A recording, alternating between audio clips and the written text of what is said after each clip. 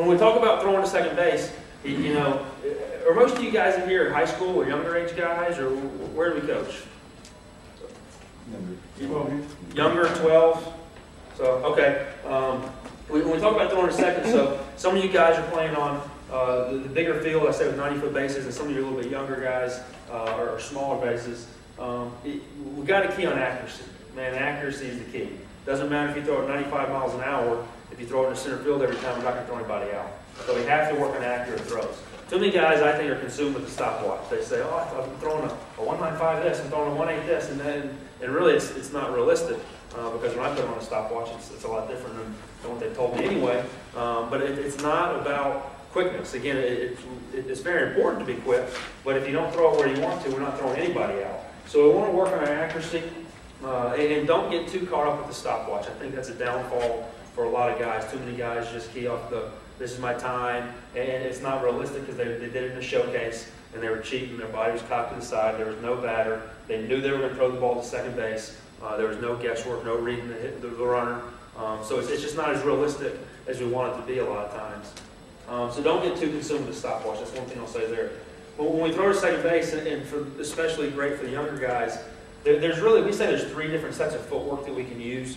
Um, but I, I, don't necessarily think that, that all three are great. Uh, a lot of guys will you could use kind of a hybrid method where they put two together uh, or do something kind of in between. But if I'm going to teach it to a guy who's never caught before, or even our guys, I have them use a jab step method, which some of you are probably familiar with.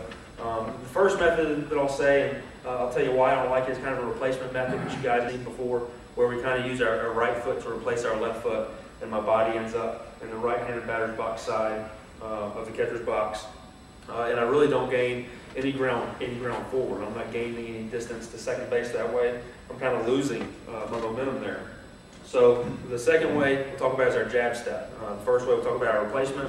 That way my momentum's going to the third base dugout. Um, I, I, like guys to take a small jab step. And what I key off of is, is taking a small step right under our chin. Um, a lot of guys, they think that they got to get too much leg into it and put too much arm into it, and they take a huge jab step that's two or three feet, um, and ultimately that's, that's time that, that's wasted when the ball could be in the air because the, ball's traveling a lot quicker then. So we want to take a small jab step with our right foot directly under our chin. Uh, our momentum uh, should take us straight to second base. Okay, again, like I said before, a lot of times guys, they, they, their momentum's going in a right-hander batter's box or sometimes even a left-hander batter's box uh, on, a low, on a pitch that's low and away. Uh, but I want to stay behind home plate as much as I can.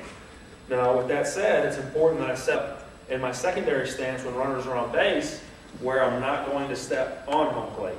Okay, there's two things that I say we should set up uh, anytime somebody's on base, especially a base stealing threat. I have to set up where I can see the base runner. Uh, a lot of times guys key off, you know, my first baseman to yell, runner, or go, or there he goes, or now, or something when he runs, and I want you to be able to see the runner. If that means getting a little bit further back, a little bit further up, uh, you have to be able to see him. I tell our guys that if anybody ever comes back to the dugout and they don't throw the ball to second base because the first baseman didn't yell, uh, that's not going to be a very fun day for them. Because it's not the first baseman's responsibility to throw them out, it's the catcher's responsibility. So one, set up where you can see the base runner. Two, you got to set up, and this comes with knowing your body and, and practicing knowing your footwork, set up where you're not going to step on home plate. Because if you step on home plate, then you slip and fall, and the ball goes in the outfield. Uh, and that happens a lot. You, you, know, pretty careless. I'd rather you stand, you know, another eight inches back, or if the batter's in the front of the box, uh, go up to where you do your footwork, you'll straddle home plate. Um, but, but we do want our body and momentum in line with second base and in line with pitch and rubber uh, to stay behind home plate.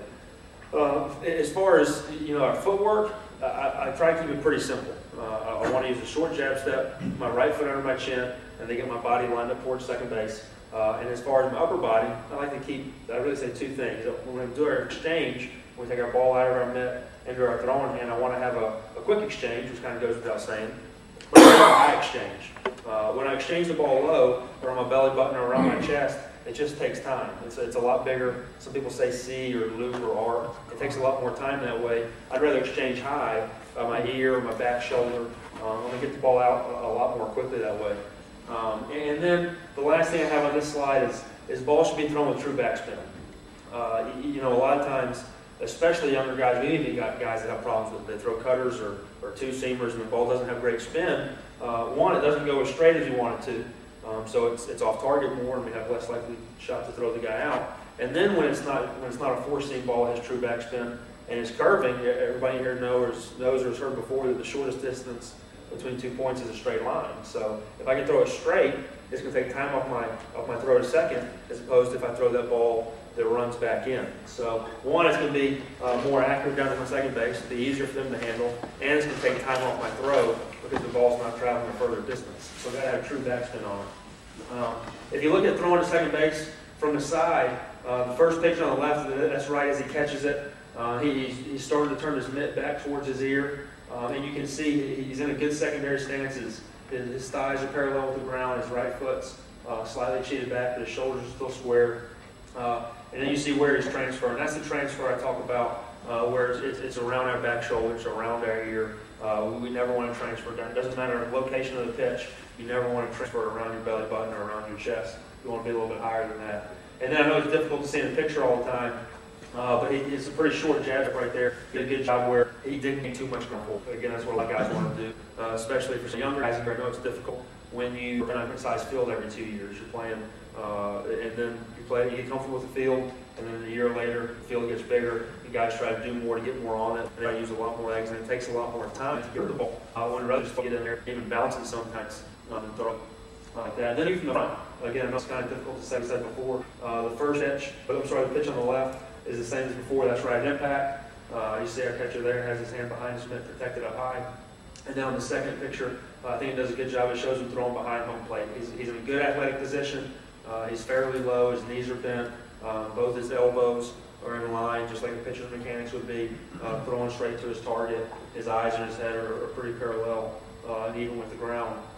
Um, all the drills that we do, uh, the website I gave you before, uh, I have video, instead of showing you all the videos here, all our videos are on my website, whether it's throwing, blocking, pop flies, plays the plate, whatever. So uh, if you want to check out some of those, you know, feel free. Um, and, with that said, uh, that, that's really about all I've got. Um, I kind of, I kind of want to be short and sweet, and I wanted to open it up for questions.